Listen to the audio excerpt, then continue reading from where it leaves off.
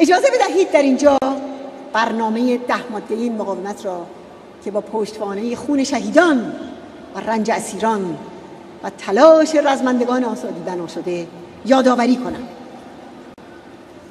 یک از نظر ما آرای مردم تنها ملاک سنجش می باشد و بر همین اساس خواهان یک حکومت جمهوری مبتنی بر آرای مردم هستیم.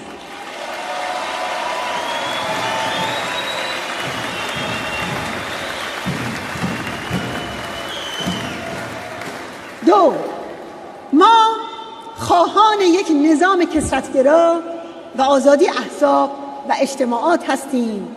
در ایران فردا ما به کلیه آزادی های فردی احترام می‌گذاریم و بر آزادی بیان و آزادی کامل رسانه ها و دسترسی بیقید و شرط همگان به فضای مجازی تاکید داریم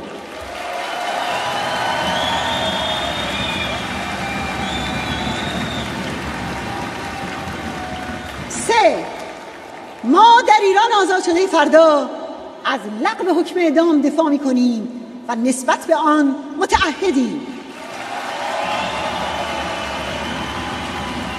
چهار مقاومت ایران از جدایی دین و دولت دفاع خواهد کرد و هر گونه تبعیض در مورد پیروان کلیه ادیان و مذاهب ممنوع خواهد بود.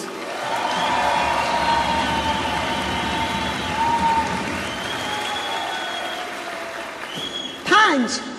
ما به برابری کامل زنان و مردان در کلیه حقوق سیاسی اجتماعی و مشارکت برابر زنان در رهبری سیاسی معتقدیم و هر گونه اشکال تبعیض علیه زنان ملقا خواهد شد و آنان از حق ازدواج، طلاق، تحصیل، اشتغال و انتخاب آزادانه پوشش برخوردار خواهند بود.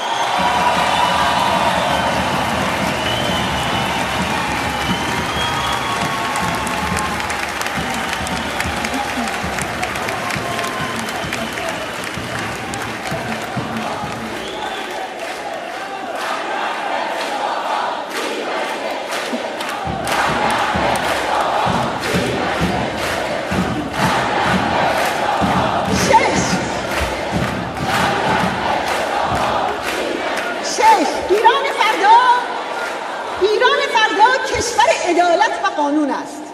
ما خواهان ایجاد یک نظام قضایی مدر مبتنی بر احترام به اصل براعت حق دفاع حق دادخواهی حق برخورداری از محاکمی علنی و استقلال کامل قضات هستیم.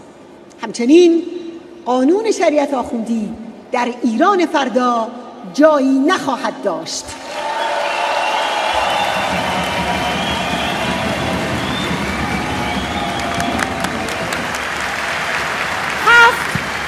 ایران فردا کشور احترام به حقوق بشر است. ما متعهد به بیانیه جهانی حقوق بشر و میثاقها و کنوانسیون‌های بین المللی از جمله میثاق بین المللی حقوق مدنی و سیاسی کنوانسیون علیه شکنجه و کنوانسیون حذف کلیه اشکال اشکال تبعیض علیه زنان می باشیم ایران فردا کشور برابری همه ملیت هاست ما بر خودمختاری کردستان ایران که طرح آن را شورای ملی مقاومت تصویب کرده تاکید داریم. زبان و فرهنگ هموطنان ما از هر ملیتی که هستند در زمره سرمایه های انسانی تمام مردم این کشور است که باید در ایران فردا ترویج شود و گسترش یابد.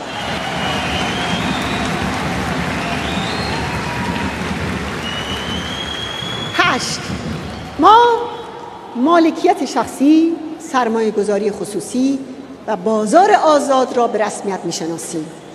و این اصل را پیشاروی خود داریم که چه در اشتغال و چه در کسب و کار تمام مردم ایران باید از فرصتهای برابر برخوردار باشند و از نظر ما ایران فردا کشور حفاظت از محیط زیست و احیای آن خواهد بود.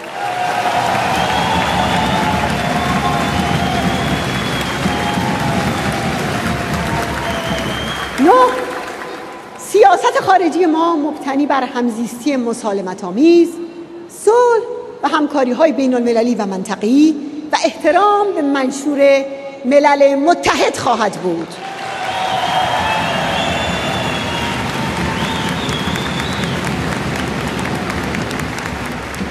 و ده ایران آزاد فردا یک کشور غیر اتمی و آری از سلاحهای کشدار جمعی خواهد بود.